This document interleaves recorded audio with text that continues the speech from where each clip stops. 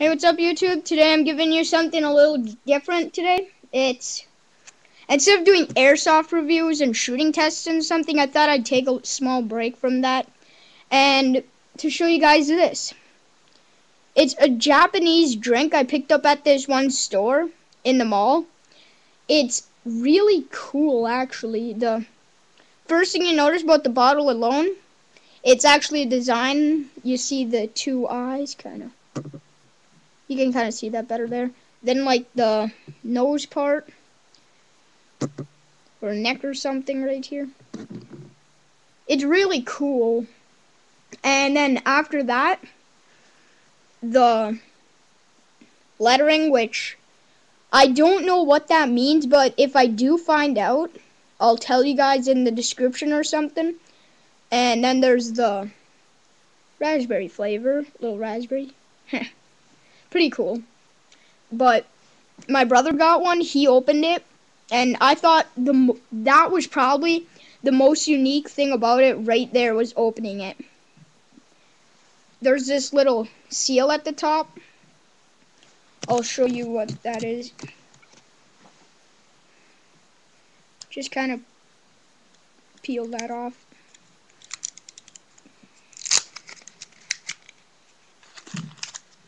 And there's a little cap type thing.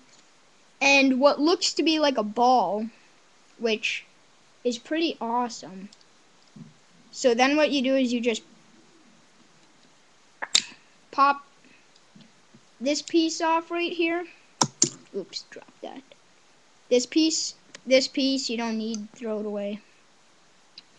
Now here's the cool part. I might want to back up my laptop but there we go. Then you gotta push it the down, push it down, and then that's like twisting a bottle here. But watch this.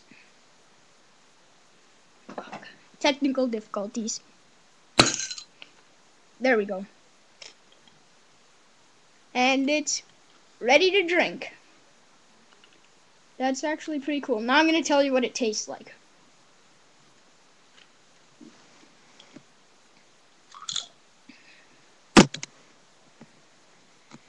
Tastes different. That's actually pretty good, actually. But, you know the serving sizes here in America? They're actually pretty big compared to Japan, so all this is is 6.6 fluid ounces, 200 milliliter. Well, see you guys. Hey, um, I'm gonna have a new video today. It's to be my first time eating raw fish sushi, me and my brother. And I want you to check that out. I'll have a link for that in the description. Peace out, YouTube. Check out this bottle. It's awesome, huh? See ya.